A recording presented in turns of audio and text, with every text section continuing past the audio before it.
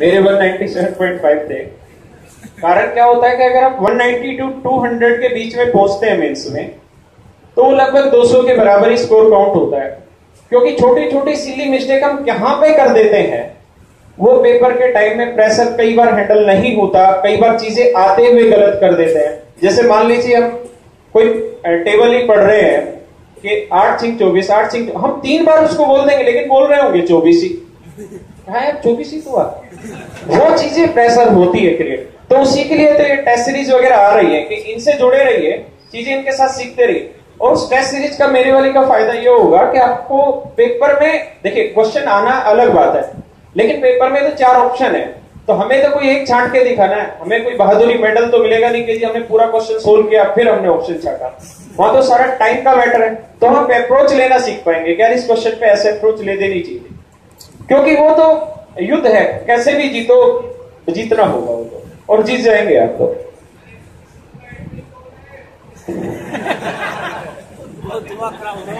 अभी रहने दो उसको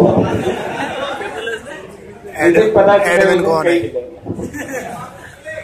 नहीं वो काम आपके लिए ईमानदारी से कर रहा है। नहीं हूँ। मैं टेक्निकली इतना साउंड नहीं हूँ। बस मैं तो चीज़ें करता रहता हूँ। और वो सही हो जाती है ऊपर वाले की दया से, क्योंकि नियत सही रहती है तो इसलिए हो रही है बस। हाँ बच्चे।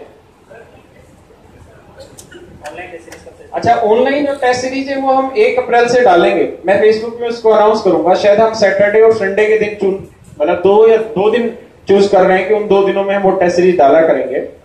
और जो बच्चा उसमें टॉप वन रैंक पे रहेगा, उसको हम चीज़ें भी कुछ प्रोवाइड कर रहे होंगे अपनी तरफ़ से। फ्री है।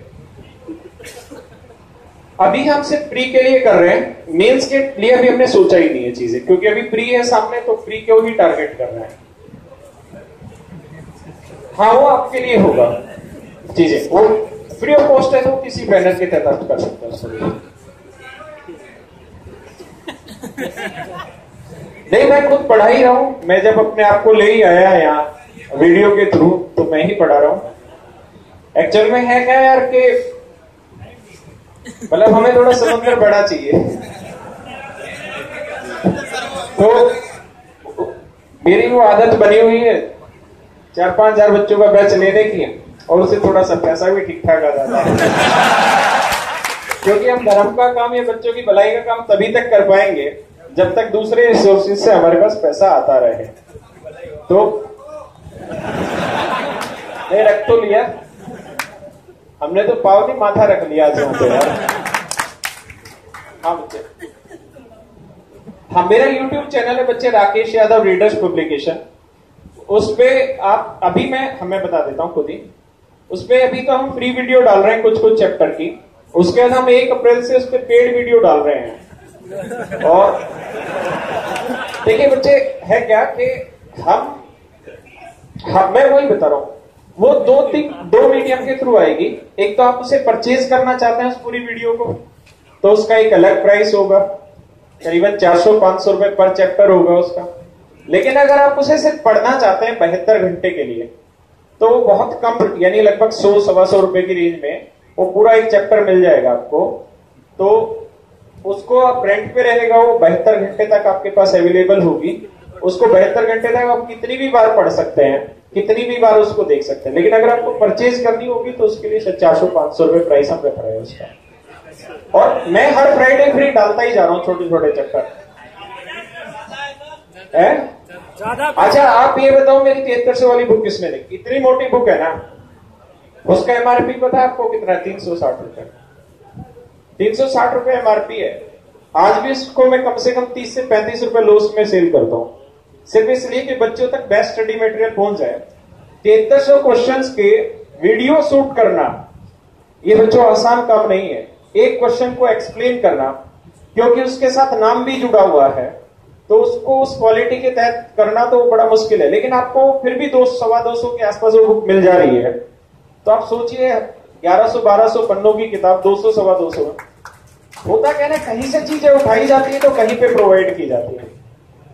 और बहुत महँगा भी चार्ज नहीं है। इतना तो तुम वैसे नेट पे फेसबुक और उस पर व्हाट्सएप पे भी तो लगाते हो।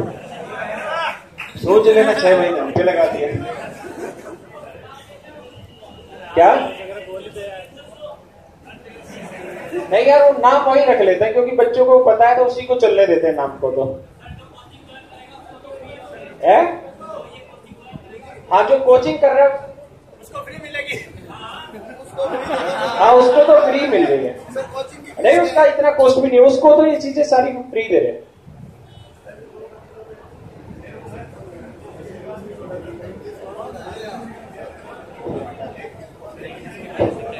नहीं, ये है ना, सबका डाउट रहता है कि मैथ दसवीं में छोड़ी थी। बेसिकली जो मैथ है ना एसएससी का, वो प्योर मैथ है ही नहीं।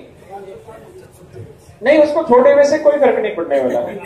अच्छा जिन्होंने जो बीटेक करके आए हुए हैं ना, उनको भी वही दिक्कत होती है। ऐसा नहीं है। ये वाला जो मैथ है ना, ये अप्रोच मैथ देखो, मैं एक छोटे से एग्ज़ाम्पल से समझाता हूँ। आप लोग काफ़ी देर से खड़े भी हैं। मान लीजिए मैं एक्साइज इंस्पेक्टर हूँ। और मैं आपके घर पे छापा मारने गए आपकी फैक्ट्री में छापा मारने गया।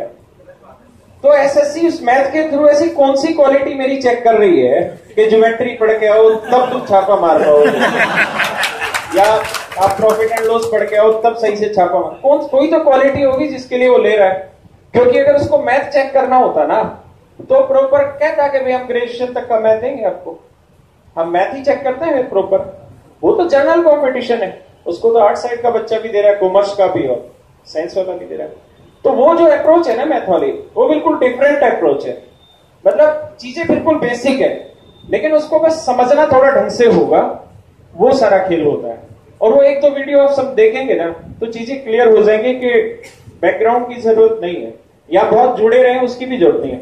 और एसएससी की जो तैयारी कर रहा है, अब तो बच्चा ऐसा है कि जो फ़र्स्ट ईयर से तैयारी कर रहा है। और अब इसी वजह से कंपटीशन बढ़ रहा है मेरिट भी धीरे धीरे ऊपर जाएगी वरना बच्चा चार चार साल बाद ही आ रहा होता है यहाँ। दसवीं छोड़ के सारों छह सात साल बाद ही तैयारी कर रहे होते हैं। तो वो हो जाता है, इतना मुश्किल काम नहीं है इसलिए आप मन से ही हटाइए कि वो बैकग्राउंड की ज़रूरत है, ऐसा कुछ नहीं मे से तो शायद पहले आ जाएगा हाँ। अच्छा जी मैं बताता हूँ ठीक है। हाँ बेटा।